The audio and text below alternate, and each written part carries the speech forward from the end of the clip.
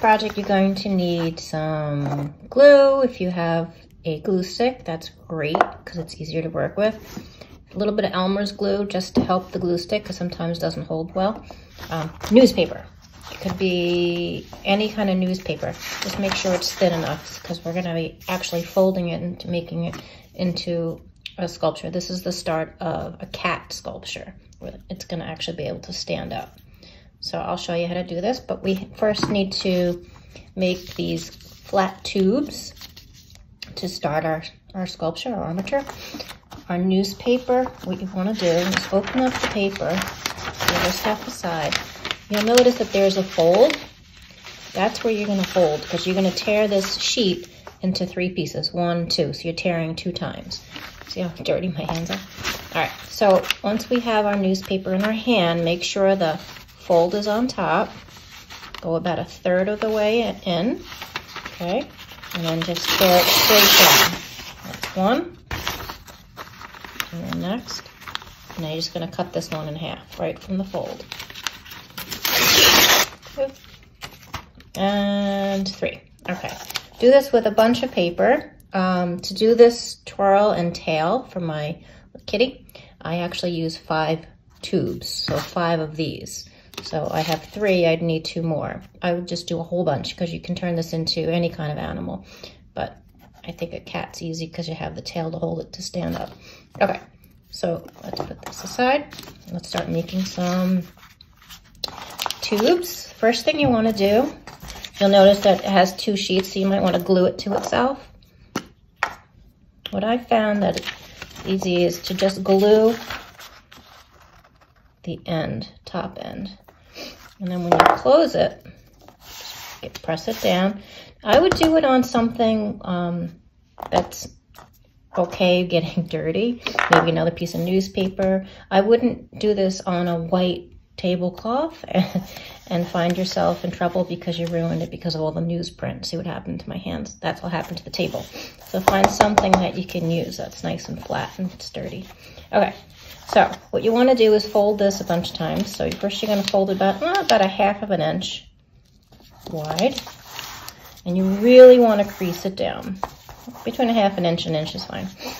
Okay, so then you're going to just keep rolling it. You're going to fold it again. That's two. You really want to push those edges. Your hands are going to get dirty like mine. Two. And then you take the, out the the glue stick. And you just want to put the glue along the edge. Sometimes putting paper underneath so you don't get it all over the table is helpful. And I also add a little extra glue on the part that was folded. And then you just fold it over. And this part's important. You really have to rub to make it stick. Okay? And just hold it a few minutes. Back and forth okay? You're gonna make a bunch of these. All right, so what you're gonna do then, after you're done making a bunch of them, to make this, this is like a quill. People who do um, uh, sewing and quilt making, this is a, a technique that they use with fabric, but they sew it, they don't glue it. All right, so if you start on one side, this is after you make a whole bunch of these.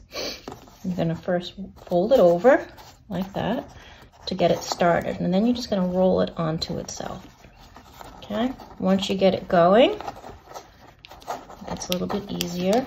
The start is always tricky. The paper doesn't know what you want it to do yet. You have to train the paper. Okay, so then what you're gonna do is add a little glue along this line and keep rolling it. It'll get easier, I promise as you're rolling it. It's getting wider. See how you have a swirl?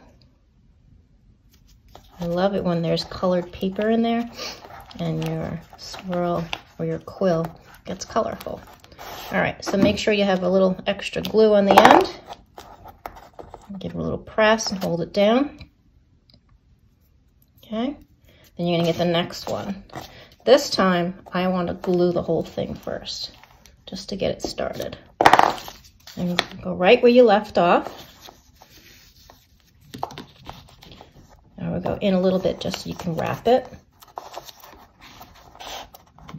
And then you turn your quill. See how it's starting to grow?